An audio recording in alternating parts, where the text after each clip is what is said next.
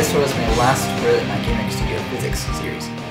So, throughout my throughout this series, I tried to make as comprehensive as possible. I tried to cover as much stuff as possible, but um, of course there were a few things I left out for because I didn't think they're important enough, or they're too difficult to implement in the tutorial for whatever reason. I, I left them out. So I want to take a tutorial to just go over all the miscellaneous stuff that I've missed out on, and so that way, so that way you'll know about, about it and so you can honestly tell your friends that you know every single bit of the GameMaker Studio Physics engine. So I think I thought that's uh, important. So that said, this can be different from my previous tutorials for in, in a few different ways. First, it's not going to be a step-by-step -step tutorial that you can follow along with. It's going to be just something you're going to have to watch and try and absorb the information without following along in GameMaker Studio because I'm going to be throwing a bunch of different examples at you. And for, no, for another thing, it's going to be specifically different from my previous tutorial in that my previous tutorial was non-planned out at all and this one is going to be very planned out. I'm going to have like every bit of it planned out. I'm going to record it in multiple sections actually. So it's going to be far more planned out. So I I think both techniques work work pretty well because with planned out I can say exactly what, what I want to tell you. I can make it really precise and get my wording exactly the way I want it. But with the uh, other way, with non non-planned out, well, in the previous tutorial I I didn't plan that partly to see if I could do it for, for myself, to see if I could, if I was able to do that. But at the same time, I think that's actually good for you to, to see tutorials in that way, because then you can get, get a better idea of the debugging process. You can see that I don't know everything inherently, I don't figure it out inherently. I I have to uh, go through a trial and error process with, with basically everything, and it's good for you to see that process, I, I think. And you can also you have a better idea of why I put all the code down because I uh, I show you in the engine, or I show you in the game, why the next code is necessary every single time. Which uh, brings you more into the way I think about it and will hopefully make you help you to become better programmers. So anyway, I think both both ways have their advantages and and I uh, will probably keep doing both ways, but I, am interested to see what you guys think of one way or the other. If you think one way is confusing, one way is much better than the other, or, or whatever. Uh, I'm interested to see what you guys have to say. So if, if you would please leave a comment telling me about that. So um, now uh, onto this tutorial. So some of you may, some of you may be wondering how uh, people fig figure all this stuff out about GameMaker Studio without there being uh, physics, oh no, without there being um, tutorials, abundant tutorials available on YouTube or elsewhere. Well, there is a documentation built into GameMaker that shows tells you everything about all the codes in GameMaker. So what I what I did is I referenced that documentation and I went through it and I tried to cover as much of it as possible. So um, let me go ahead and show you the documentation so that I can point out what I still need to cover.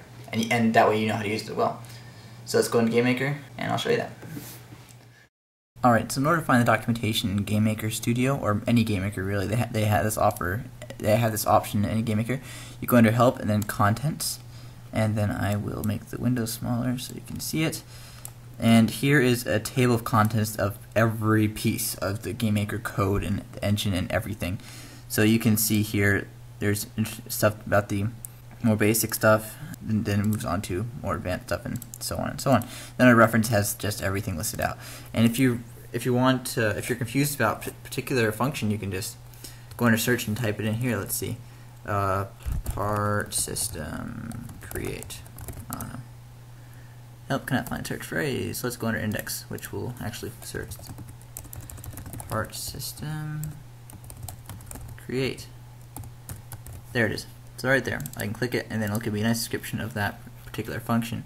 And I'm not sure I'll search different indexes. I guess if you know this function, you go under this one. Oh.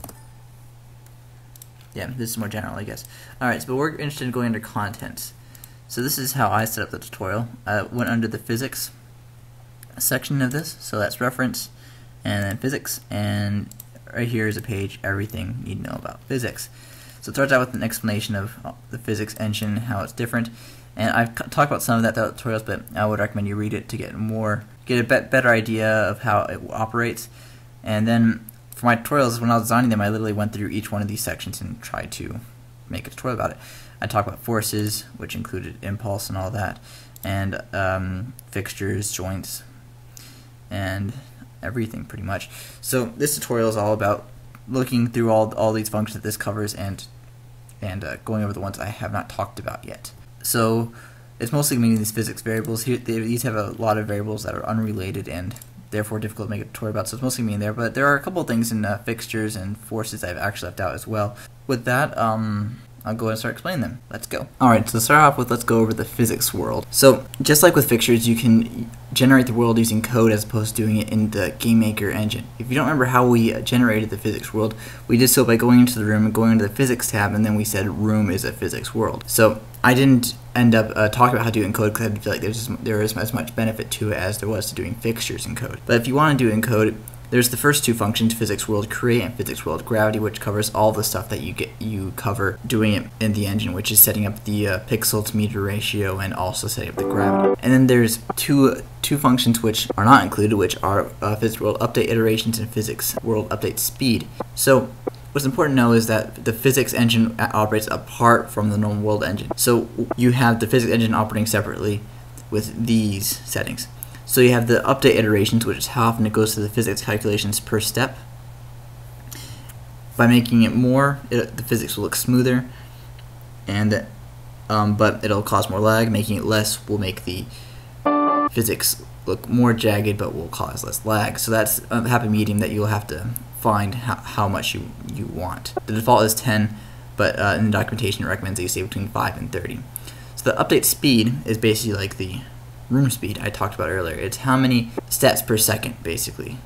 So with the iterations and the speed, that determines how much calculations are done or how much uh, work the um, physics thing is doing in the uh, in the game. So that's kind of important to, to realize. All right, so then next there's uh, two um, debug functions. There's the physics uh, draw debug, which we already talked about, which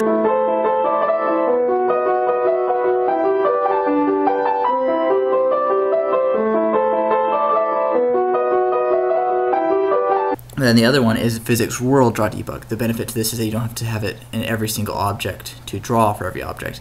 It'll just draw every single um, debug shape in, in the world, in the in the room, I guess, in the system. And this is a, little more complicated. They have seven settings. They have seven different settings, which are different things that you can try depending on what you, what you want to see, what information you're looking for. So you, you can be a whole lot more specific with the world draw debug. And then the last one, the, on the world variables, is you can use this to pause and unpause the world because the, the physics world isn't designed to be paused, but they realize when they're making GameMaker that the pause feature is kind of important. So if you want to ever pause your game, you, you could use physics pause enable. That's one way to do it. Alright, so next section I'm going to talk about is the forces section. So I already talked about most stuff in this section. I talked about the uh, uh, impulse, force, local impulse, local force. But there's one thing I didn't talk about, which is physics applied torque. So I've sort of brushed up on torque a little bit um, throughout my tutorials, but I'll just go ahead and redefine it. Torque is a lot like is like forces in many ways, but it operates rotationally instead of in a particular direction. So for this reason, it is does not have a local or normal because it can only go clockwise or counterclockwise. It's not in a particular direction and doesn't really matter if it's relative to the thing you're rotating or relative to the world. Um, it is defined as torque is equal to force times the distance from the center perpendicular to that force, or it can be defined as the moment of inertia times the angular acceleration. And we're going to be talking more about the moment of inertia later in this tutorial, actually. So I think it's really neat. If you one example that uh, where torque come handy is if you had a vehicle with wheels, you can actually apply torque to the wheels to make the vehicle move, which I think is kind of cool because you're not directly applying a force towards the um, vehicle, just making the wheels rotate in order to make the vehicle move. Now I'm going to start talking about the fixtures and some stuff I left out for that. Uh, again, I talked about almost everything about the fixtures, but there's a few specific things that I left out. So one of them being is uh, physics fixture set sensor. Well, whether it's sensor or not is uh, something that you can actually uh, toggle that without using code in the in the physics properties section there's actually a, a box there where, where you can uh, select whether it's sensor or not, sensor or not. And I sort of just ignored it, pretended it didn't exist. It was kind of rude of me actually. So uh, I'm, now I'm going to go ahead and explain to you what a sensor is. When you make an object a sensor, you're saying you don't want it to be affected by anything physics. So when something collides that it won't do anything, it will, for all intents and purposes, pretend uh, nothing else exists. So you might ask yourself, what's the point of making a physics object if it's not going to work with physics at all? Well, even though it doesn't rotate or move around when you collide stuff, the, the collision net will still be triggered. So you might want to use that as a sensor to uh, trigger other events. So for, um, for example, if you have a player moving throughout the world, maybe you want something to happen when it collides with this. Maybe you want a cutscene to happen, or maybe you want a secret door to open. Maybe you want that to happen when you reach this area. So you make a sensor in that area where the player could collide with that area and make stuff happen. So usually make them invisible, but I guess you can make them visible as well. So they're, kind of behind the scenes things behind the scenes objects that trigger other events, I suppose. Okay, so the other thing is physics fixture set kinematic. Alright, so um, from my understanding, GameMaker Studio uses the word kinematic and dynamic. From my understanding, they are meaning the same thing by the two. So kinematic is an object that moves around through the world. So at any point in time, is an object that is static or dynamic. We've talked about static, that's when we set the density to zero, and that's when it's not affected by physics. It, it just sticks there, it's not affected by gravity. Things can collide into it, but it's not going to move. That's what static means.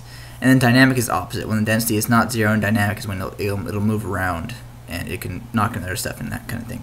So kinematic is when is when it's an object that can be moved around. You um, will want to mess with this if you initially set it to static, but then you plan on it be, becoming dynamic later, which is something that could happen under certain circumstances. And the, the problem is that if you start out static, it's going to assume it's static and it's going to make that a setting. And then the process of converting from static to dynamic is memory intensive. So if you go ahead and set it to kinematic, say, say, saying you want to be a moving object, it will it'll go ahead and look at it as if it was going to be a moving object, and then you can save on memory by setting to kinematic from the get-go.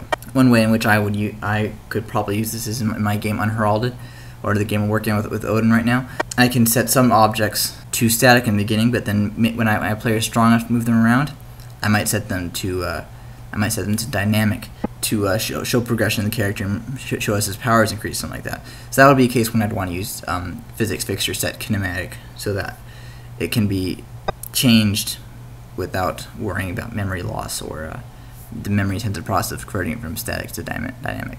Okay, so the last one, last fixture setting I want to talk about is physics fixture set awake. Well, by default, fixtures are set to be awake.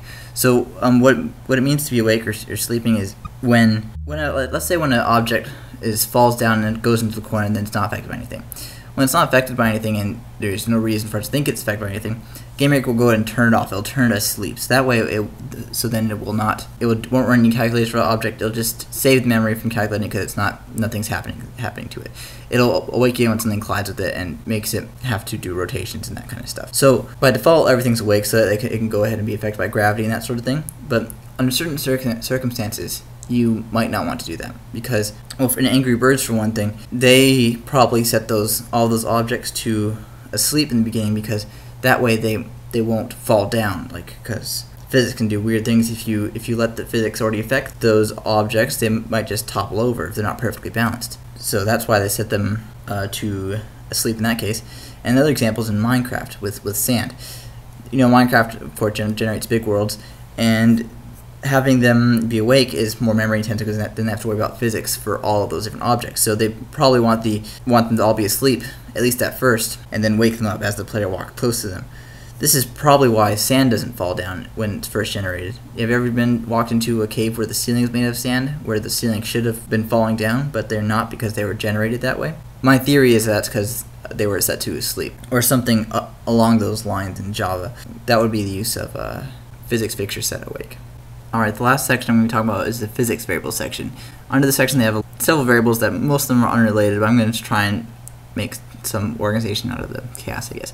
Remember that diagram I showed you in the previous tutorial with the uh, different variables in normal GameMaker and, the, and how the variables are different in the physics GameMaker? Yeah. That chart looks something like this. There's a few more variables we can actually add to that. So you have the position or the location variables up top, you know, uh, uh, displacement, velocity, acceleration, and all that. Well, you can go through some of this, some similar lines of um, differentiation with the angle actually. So you can have angle, your angular velocity, and then you have the, your uh, angular acceleration. Well, they don't have angular acceleration in GameMaker Studio, but they do have uh, angular velocity, which can be, come in handy many times. It tells you how fast it's rotating, the change in the angle at any point in time, which you, you it's probably a good idea to set limits on that one, just like we did in the platform with the speed and that kind of stuff, because that way it won't you won't have things rotating crazily out of proportion. Another two variables that I like to talk about are phi speed x and phi speed y. These are very similar to the phi linear velocity x, phi linear velocity y. They're basically the same thing, only different units. Phi linear velocity x, phi linear velocity y are in pixels per second, while phi, phi speed x, phi speed y are in pixels per step. If I had used them in the platform tutorial, it would have saved me a lot of trouble with the converting the units. I'd like to point out that for as far as physics goes, the, the way the game maker defines speed and velocity doesn't match up with the way physics defines speed and velocity. The difference between speed and velocity in physics is not simply that they're different units. GameMaker did that as a convenient naming scheme, I guess. In physics, velocity is a vector that indicates both a direction and magnitude. So a negative velocity means it's going to the, the negative direction, and the positive velocity means it's going in the positive direction. Speed is just a magnitude, just a number. It's a constant. It's not a vector. No direction indicated. So you can't actually have negative speed. Speed is how fast you're going at one point in time, regardless of your direction. But that's in the physics world. It's different from GameMaker. I just wanted to point that out real quick. Next two variables I'm going to talk about are really random ones. They don't really have anything to do with anything. They're sort of on their own. And those variables are phi active and phi bullet. Phi active is a lot like um, setting it to be awake or asleep, where if you set it to be active, it's uh, goes through physics physics stuff. But if you set it to not to be active, it's uh, not going through physics stuff. So it's literally a toggle of whether you want physics to act on that particular object or not, and you can toggle it on and off. So it's basically the same thing as, as sleeping for for as far as I'm concerned. And you can probably think that there's I'm sure there's some minute difference, but for the most part, it's just whether or not you want want physics physics to affect it. It's just toggle on and off. Do you want physics to affect it or not? Next one is phi bullet. Just like phi active, you can set it to be true or false. You're going to want it set to be true if you have very fast moving objects. So what it does is it, it has more complex means of collision detection. Because the problem with fast moving objects is if it's saying move, it's if it's moving say let's say 64 pixels per second, then it could then if you check the collision every single step, then it could go through walls for one thing. If you have like a wall that's four, let's say 32 pixels thick, and you have a, another block moving 64 pixels per second, then it could, in one step, it could move past that wall and never have a have a problem colliding with it because the one step it's not colliding with it, the next step it's still not colliding with it. It just literally passed over it. But with phi Bullet, it does a collision detection a little differently. It doesn't only include your current position and the collision there, but it also includes a collision box. It also includes the distance you covered or the area you covered between the steps. So that's more that requires more more memory, more calculations. But if if you have a fast moving object, it's necessary. So that's so you're going to want to put that as true when you have a fast moving object that would require the more advanced calculations. Next, we have a series of read-only variables. So read-only variables are variables that you can only read. You can't actually change the values of them. So these change, the physics engine will change them, but you can't actually change them yourself. So let's go ahead and go through them. Phi com x, phi com y. Com stands for center of mass. You actually can change that with the mass properties. We've already talked about that, but you can find the center of mass using these variables. You can figure out where it is. That's all there is to it. Those are the variables representing center of mass. Not too tricky there. Then we got phi dynamic. I've already told you that dynamic is opposite of static. Static is where you have an object sitting there and you just want it to be a block that can't be moved by anything and then dynamic is is uh, the opposite of that. When whenever it has density that's not zero, it's considered dynamic, something that can be pushed around and all that. Then we got phi inertia. We've already talked about that that with mass properties, but you can figure out what the inertia is with this this variable phi inertia. Phi mass again, pretty much already spoken for. Tells you the mass. I've actually probably I think I've dealt with that already, so I don't even need to talk about that. But yeah, phi mass tells you the mass of the object. Okay, the next is phi sleeping. This one is, um, a, I guess requires a little more explanation. It we we already went in the fixtures. We said whether it's wake or not. Well, this is the opposite of that. This is whether it's sleeping or not. So if it's sleeping, that means that the engine is ignoring it. It's not colliding with anything, and you're going to keep ignoring it until it collides something. And if it's not sleeping, then it's probably moving around and it's awake. There we go. Lastly, we're going to talk about some variables that are, are involved with the collisions. There are five variables. First one is phi collision points. This is how many points you're colliding with at one point. So if you have an object colliding with two other objects, then cl phi collision points be equal to 2 because there's two points where it's colliding. Next two variables are phi collision x, phi collision y. That's where it's colliding. You may, you may be asking, well, what if there's two collision points and there's multiple values to that? You're right It, these are actually can be represented as arrays. You can use them as arrays or you can choose not to, either way. If you want to use them as arrays, you can actually select which collision points. One will be indexed as 0, next, next one will be indexed as 1, 2, 3, 4, and so on and so on. And you can actually create a loop to go through all the collision points and run calculations with them using collision x and collision y. Next two variables are phi collision or phi col normal x and then phi col normal normal y. So col of course stands for collision and normal is referring to the normal force. In physics normal force is the force coming from the object that you're colliding with. When you're on the ground, the ground is emitting a normal force onto you just simply working against you hitting it, I guess. Normal force is, is the force that an object applies sort of in response to other things. When you're pushing against the wall, the wall's applying normal force back to you. Okay, so in this collision, the phi col normal x and phi col normal y are the x and y components of the normal vector coming from the object that you're colliding with. I'm drawing a diagram here as I'm speaking. Hopefully it's good enough to explain this concept to you because vectors, I, I didn't talk about vectors. Vectors are a confusing thing in and of themselves, but if you want, if you knew about vectors and you want to find a normal vector, this is how you would do it. Alright, next section we're going to talk about is physics mass properties. That's the that's a function that we're going to be talking about. This is a function that doesn't adhere to any particular section the documentation. It's just a sort of a loner on its own. They couldn't really classify it. So I've talked about mass a little bit in terms of how you can uh, calculate the mass based on the density and the area of the sprite. Well, that's that's the top of the um, iceberg, I suppose. There's much more settings you can talk about in terms of mass and how it can affect uh, physics. One thing being, when you do physics, you do it in terms of the center of mass because that's that's where the uh, that's the point it rotates around.